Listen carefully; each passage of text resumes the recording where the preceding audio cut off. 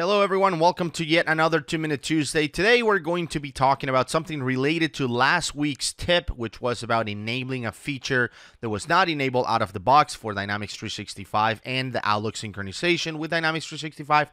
So, today is related to that. It's, it's another feature that, I, in my opinion, should be enabled if you are going to be synchronizing um, your Exchange mailbox with Dynamics 365. So when you uh, are working with an appointment, so let me just put up an appointment here. All right, so here's an, an example appointment.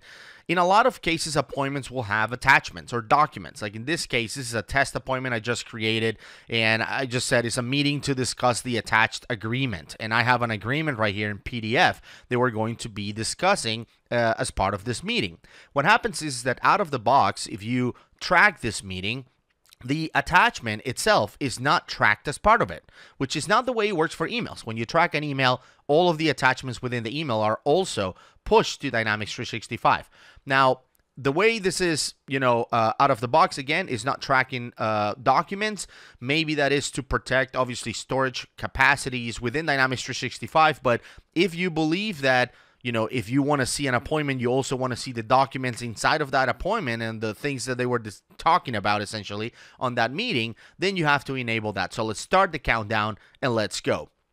So we're going to go back to Dynamics 365. I am going to go into the advanced settings. And again, I'm doing this as an administrator, of course.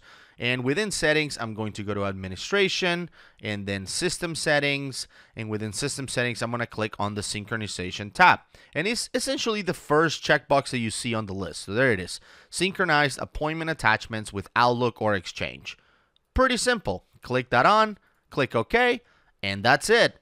I hope you enjoyed the tip this week. Make sure you hit the subscribe button if you're not subscribed already, and obviously the like button to let people know that you like this tip. And we'll see you next week.